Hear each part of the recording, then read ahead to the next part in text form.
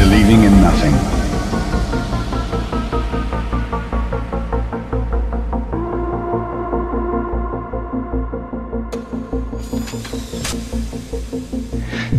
Believing in nothing.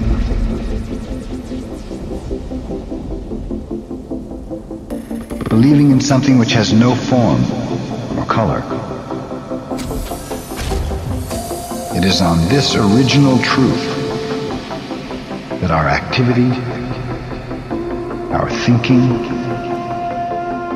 and our practice should be based.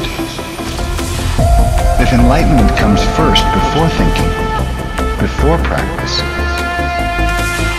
your thinking and your practice will not be self-centered.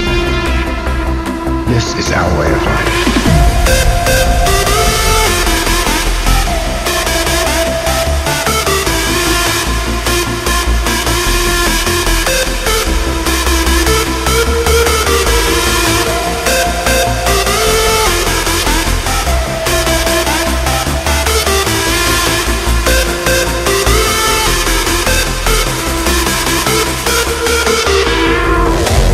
Enlightenment comes first before thinking, before practice,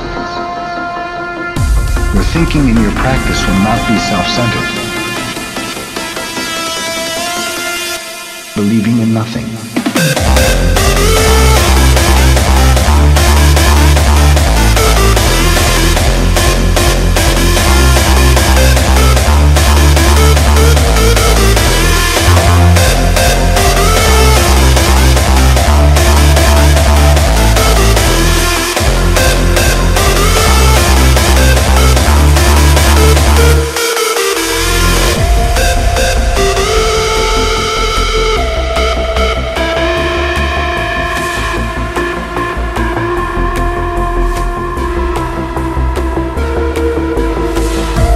Enlightenment comes first before thinking, before practice,